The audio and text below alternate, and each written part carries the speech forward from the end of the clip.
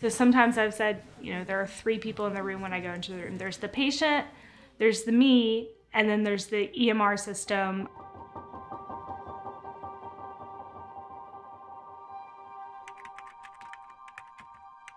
Patients know it too. They're like, my doctor comes into the room and only looks at the computer. They don't even care about me.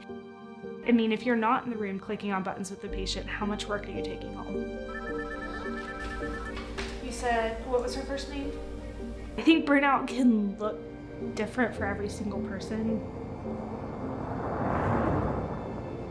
I was bringing work home almost every single night and spending hours and hours outside of work time doing documentation.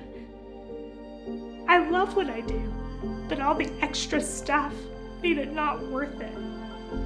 My patients aren't getting the best of me, my kids aren't getting the best of me, so the option would have been going part time, but monetarily it wasn't going to make sense.